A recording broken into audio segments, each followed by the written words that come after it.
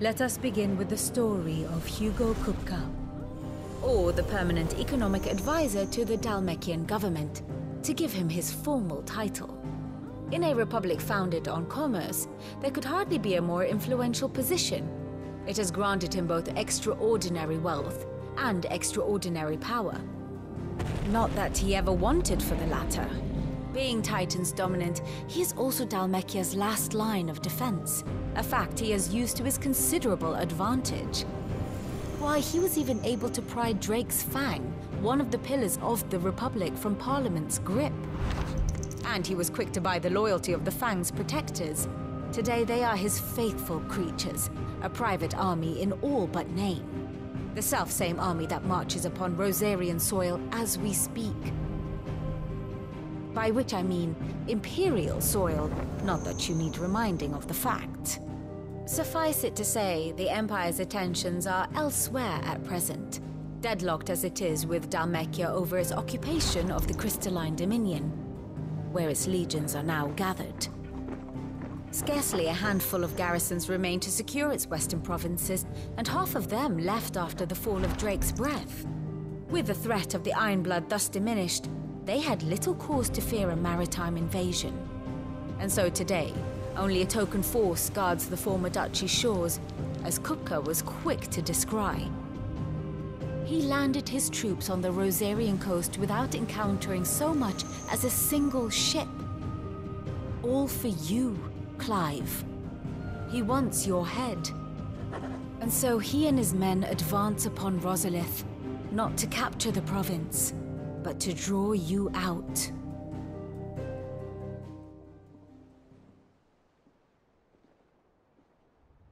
You said Kupka's forces sailed up the coast. What of Port Isolde then? Is the city safe? Quite, according to the Guardians of the Flame. The Dhalmekian fleet floated by without incident.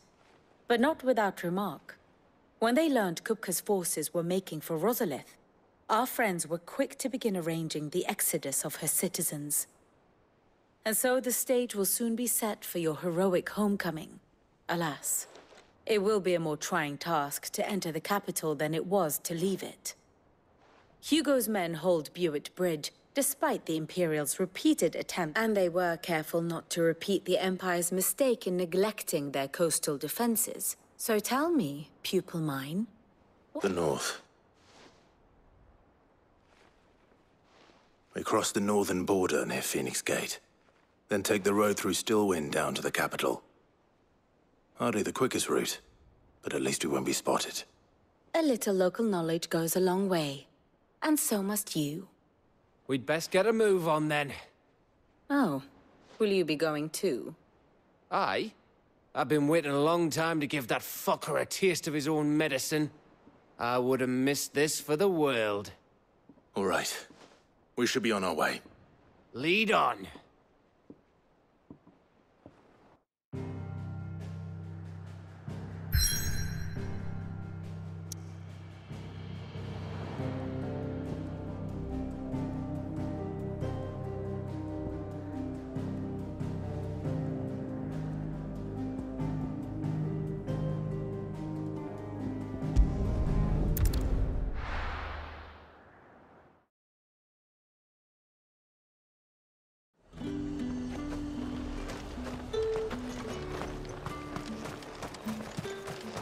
Let's hope the Draper has Hortense's cloth.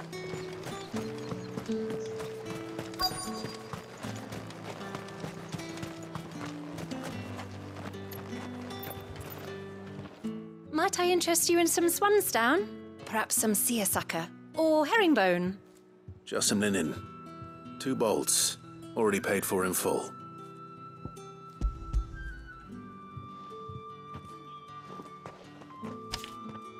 Apologies, my lord, but your items aren't here. They were due to arrive on a caravan from Boklad, but there's been little traffic on the road these past few days. My mother thinks it might be bandits, but she always thinks it's bandits. It usually is. So I assume... Yes, hopefully carrying all manner of spice and sundries. Wait, you aren't thinking of. Going to find it. That's exactly what I'm thinking. Oh.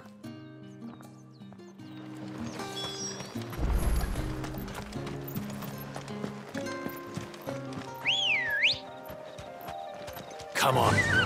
Yeah!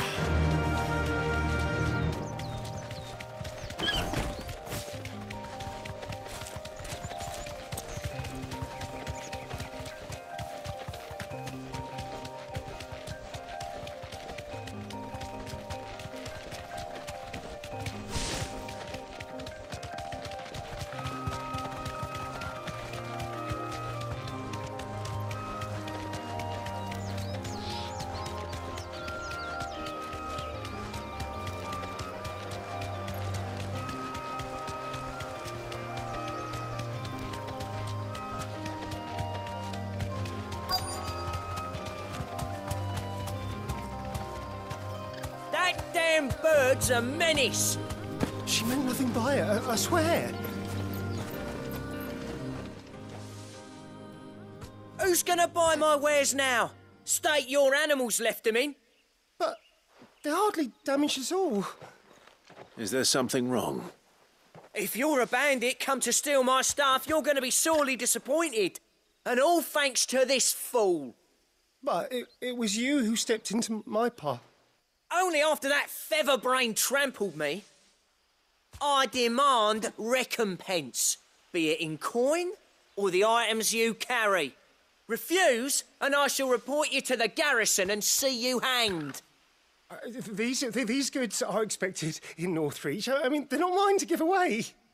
You wouldn't happen to be on your way from Bocklad, would you? I, I am, but um, did someone from the market send you? Please, please, you have to help. So the fool has protection. And coin, too. Oi! Killer! It's time to collect. I told you not to call me that. And we'd have already collected if you hadn't insisted we'd put on this little act. Bandits! As I told one of your customers, it usually is. Let's get this over with. I'll deal with the bird lover. You take the handsome one, killer. Stop calling me that.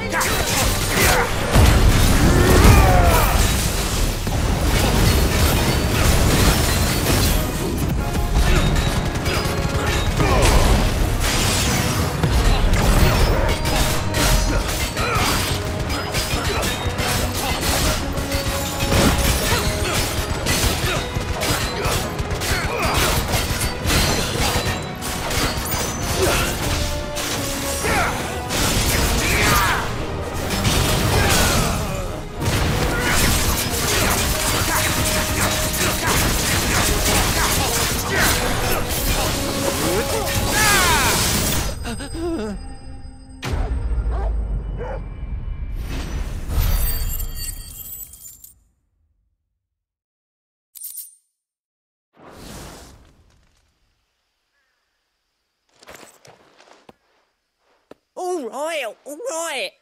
You made your point. Killer my ass. Did he hurt you? No, no, thankfully.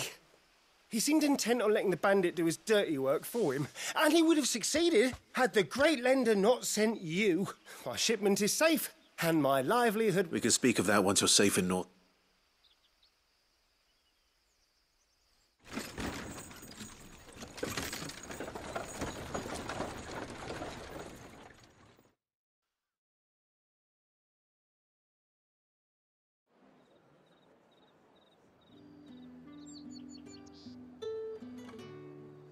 So you and my mother were right. It is always bandits.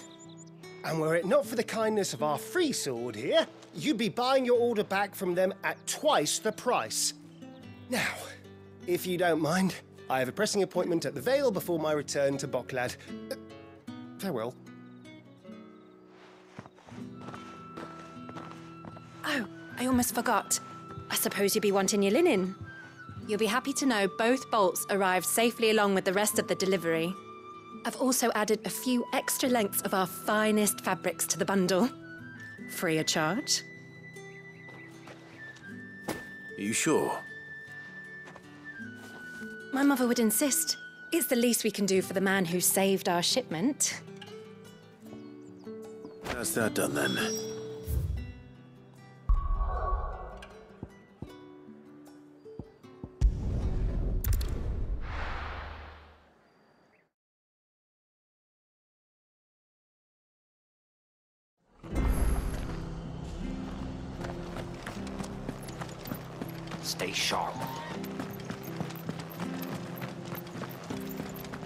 Thank you for sticking with us.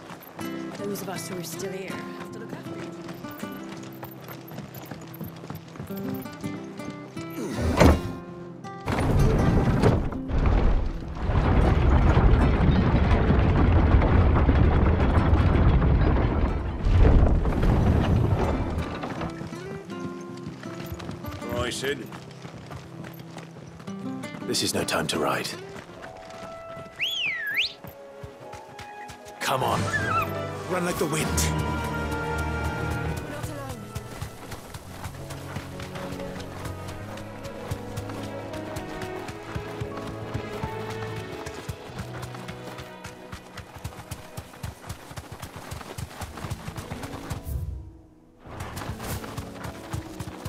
The marshes near the Abbey are certainly damp.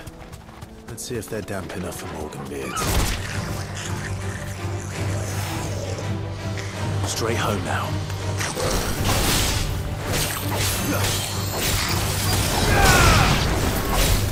The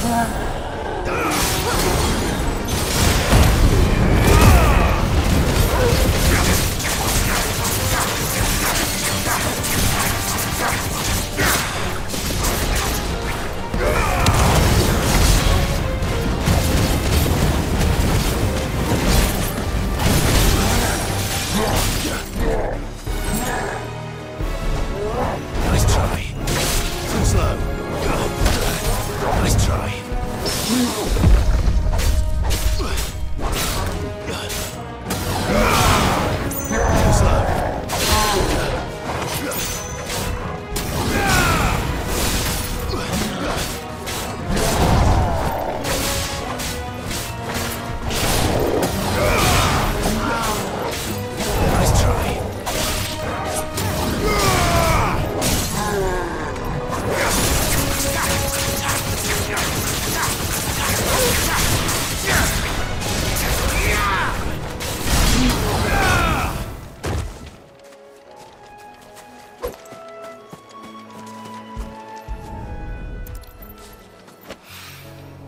Bright yellow. These are our Morgan beards, all right. Well, I've gone to this much trouble. What? There's something familiar about this scent. It reminds me of home.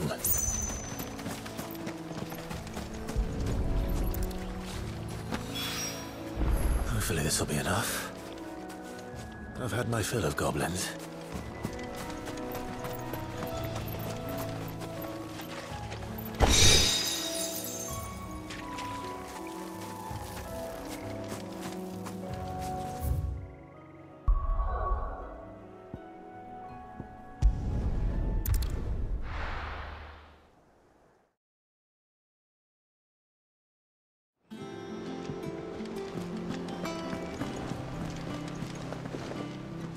Clive, sorry again for sending you all that one. Don't worry. I believe this will more than satisfy your needs.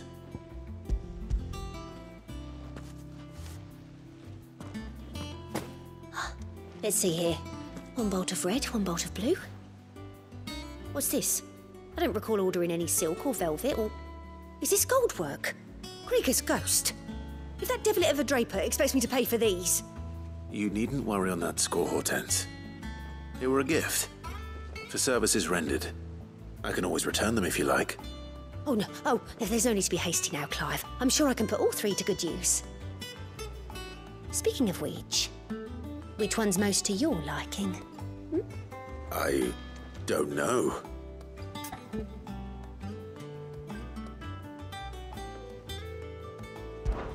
This one, I suppose. I've a mind to give a piece to Jill. Did you know she's quite the little seamstress? Hmm? I know needlecraft was amongst her lessons at the castle. Her lessons? Oh, that's right. The two of you were raised together in Rosalith, weren't you? Not quite together, but when my father put down the uprising in the Northern Territories, Jill was taken as a ward to ensure that her father, the Silvermane, would keep the peace. She's an honest to goodness princess, then, isn't she? I could tell, you know. Some people just have that air about them. Not many round here, mind. I'd offered to sew her something that might better suit her station. But she'd most likely turn me down, as she always does. Tell me not to waste the fabric when it's better used on the children. Don't take it the wrong way. She certainly seems to be attached to the last outfit you made her. Oh, sometimes I think she never takes it off. Or perhaps she'll make something for herself with your gift. Either way, I'm sure she won't turn it down. We'll see, I suppose.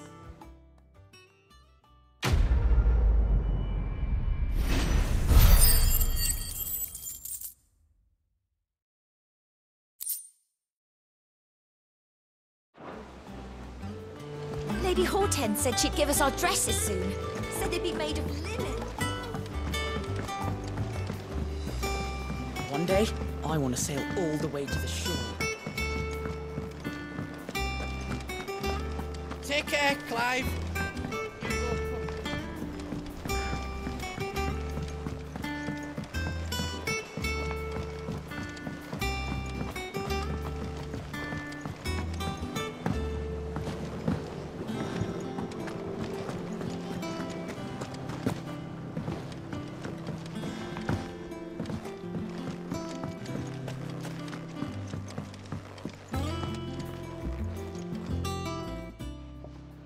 It is rare that we see you so often in the backyard, Cid.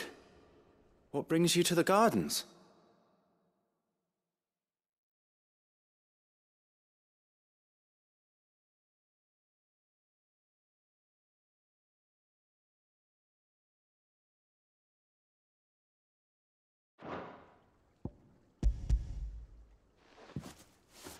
I found your flowers. Yes, yes, wonderful. These are almost identical to the plates in my tome. Did you have any trouble locating them? Finding them was the easy part, but it's odd. They remind me of my childhood somehow. I don't remember these flowers specifically, but you must have grown them in the castle garden. If the petals are meant to improve the effectiveness of medicines, it's possible that the court physicers grew them for the tinctures and treatments they made my brother. If the ducal healers were convinced of their properties, that is all the more reason to begin growing our own supply here. Oh, allow me to use some of the flowers you brought me to make something that might aid you on your travels. I need only a moment to extract the essence from the petals.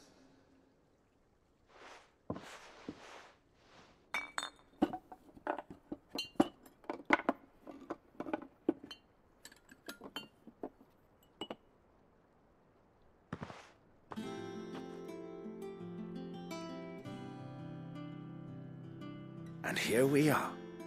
A phial of pure Morganbeard extract. A single drop added to any one of your restoratives will increase its potency. At least I hope it will.